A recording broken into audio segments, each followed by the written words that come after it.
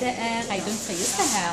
Nå står jeg på Vigrestad konditori. Det er lanseringsdagen av boka min 'Den blå kjolen'.